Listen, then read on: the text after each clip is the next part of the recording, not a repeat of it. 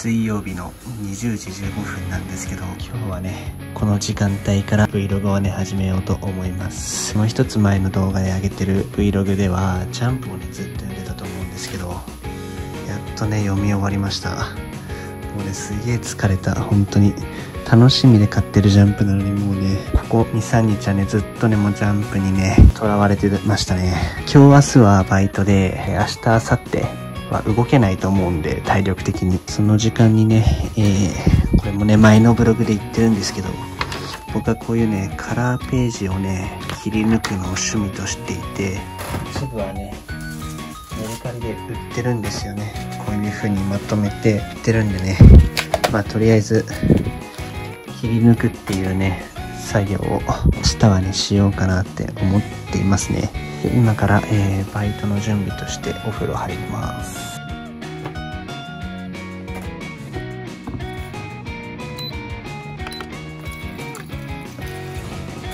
じゃ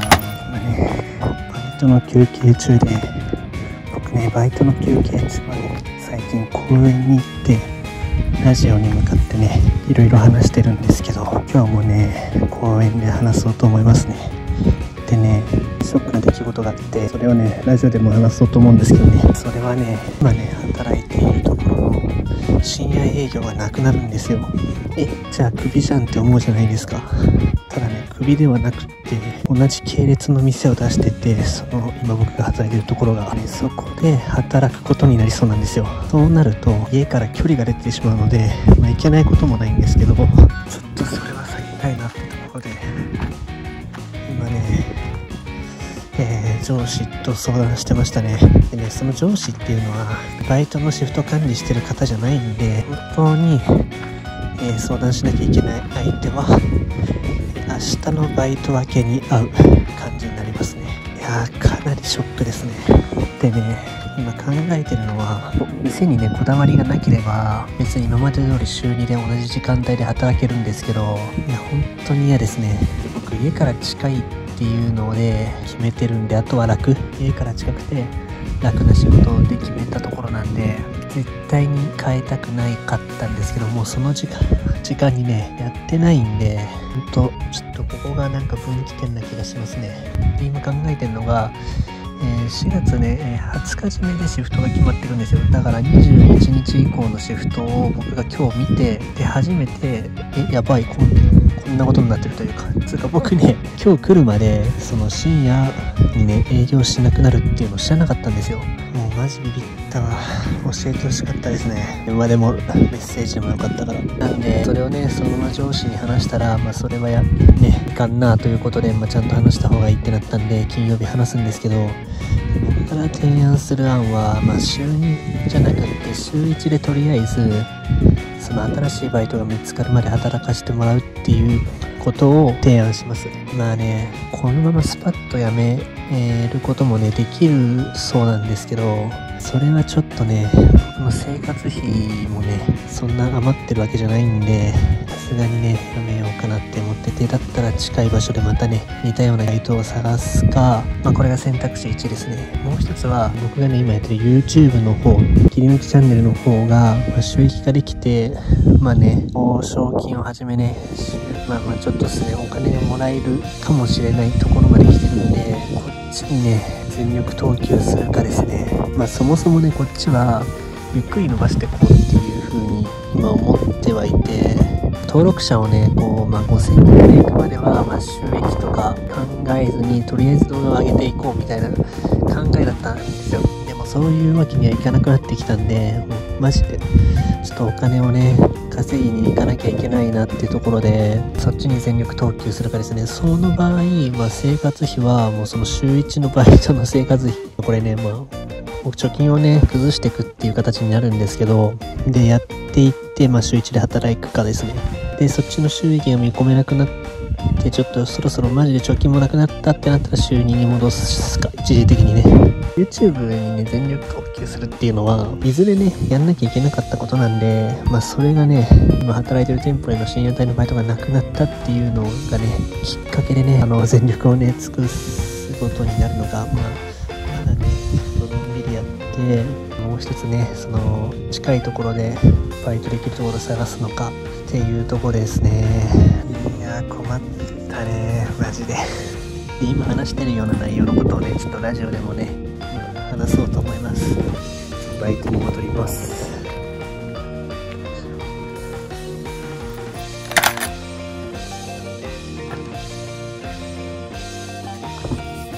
いろいろ考えることありますがとりあえず寝ます。今起きましたね。焼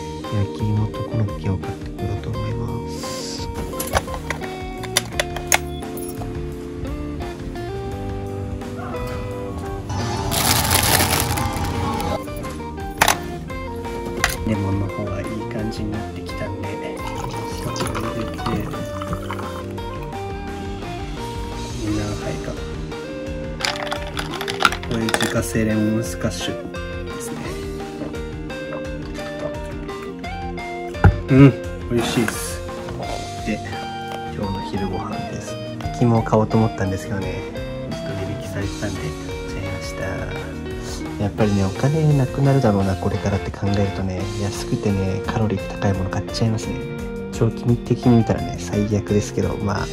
もうしょうがない。ずっとねほんとしてました。もう昨日のバイトの疲れがねもうずっと引っ張ってる感じですね。バイトの中身っていうのはいつもねこんな感じですね。マジで何もやる気ないですね。一回風呂入ろう。今ねいろいろとお金の計算をしてたんですけど週1労働でね生活していける計算になったんで、まあ、ちょっと今日じゃなくて明日の朝ねバイトの人と話してもしよければ週1でただ勤務場所がちょっと遠くなるんですけど入るようねちょっと安心してみますね。えー今ねバイトの休憩中で本来ならね公園にいるんですけど今外ね雨がすごいんでなんでコインランドリーに逃げてきました。今はね深夜の2時10分です。でねバイトのね休憩室あるんですけどこの方がゆっくりできるんで、ね、お客さんがいらっしゃったら出ていきますけどちょっとね2 3 0分はここでね時間を潰そうと思います。でねまたラジオでね今思ってること今はねちょっと固定費をもう一回見直そうかなっていうのでねその話をしようかなって感じですね。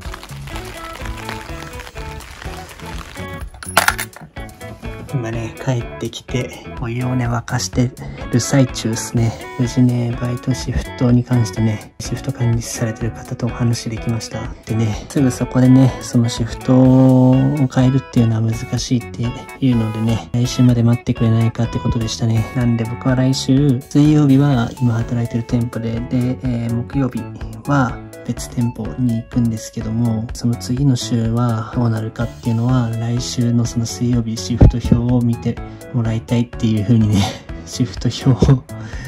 で知るんだみたいな感じなんですけど、電話かなんかね、くれたらいいのにって思うんですけどね、なんか、シフト表を見てくださいって言われちゃいましたね。でもね、話の内容に関しては、この店舗で働きたいから、あの別の店舗で働くんだったら週1にしてほしい、あるいは辞めることを考えさせてくださいっていうお話をね、しました。その収束管理されてる方は、うんと、ちょっと待ってくれということで、僕の話も聞いてくださって、えー、人事のね、状況、もうね、最悪らしいです、本当に。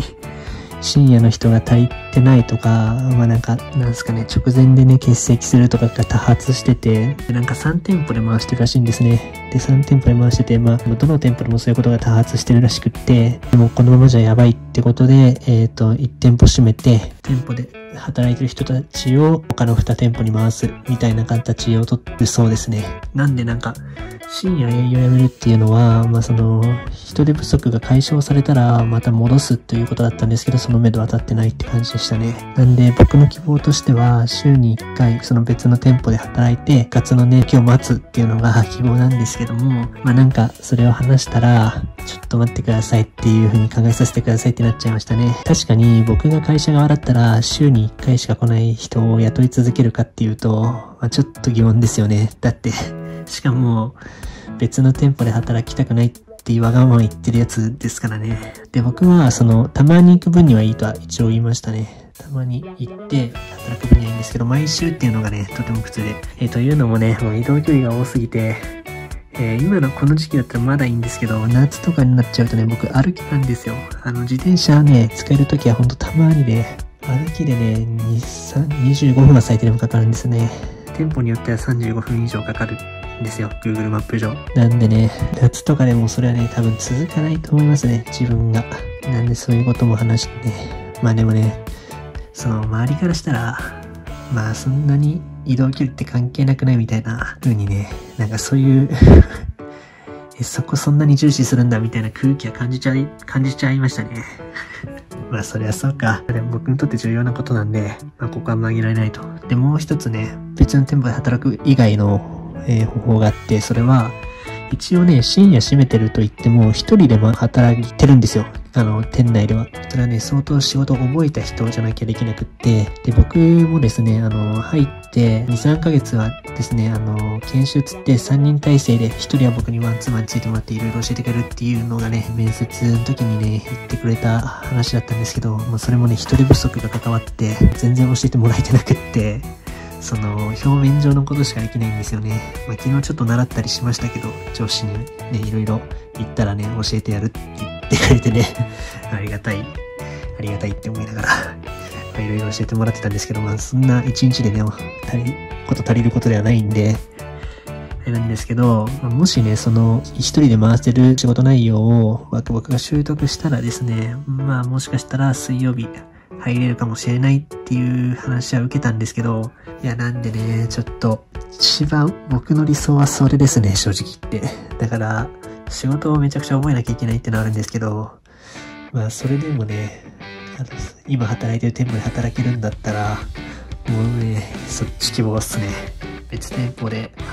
どうしても働いてくれって言われたら、まあそれはね、ちょっと考え直さなきゃいけないっすね。まずね、近いところで働けないていうのはかなりきついですよね。はい。だから、まあ、来週のシフト表を見て、その結果が悪かったら、ちょっとお話しさせていただいて、もしかしたら辞めるかもしれないってところっすね。ガチの無職に一時的に戻る可能性もありますが、まあ、そうならないことを願ってますね。まあ一番は、だからその仕事を覚えさせる期間を作ってもらって、で、一人でね、働いて店舗で働かせてもらうっていうのが第1希望で、第2希望は別の店舗でもいいけど、週に1回にさせてもらうっていう、今働いてる店舗の深夜営業が再開するまでは、そそうしていただくって感じで、で、えー、それがなくなったら、その2つの選択肢がなければ、またバイトを辞めて別のバイトを募集する可能性が高いですね。まあ、帰ってからね、バイト面接の時からもう週に2回行って、この店舗希望ってのは言ってるんで、応援は行くとは言いましたけど、まずなんかその一番遠い店舗の話は全く聞いてなかったし、で、次に遠い店舗は、えー、行ってもね、月に1回あるかないかって言われてたんで、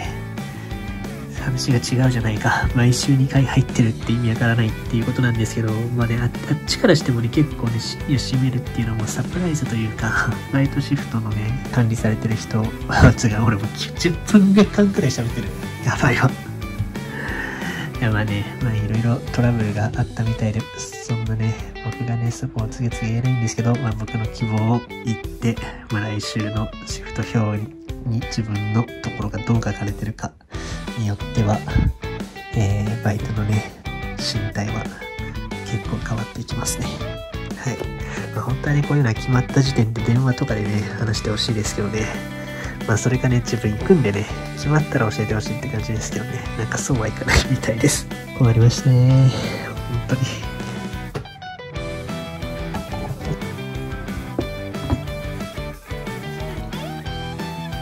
炭酸弱い。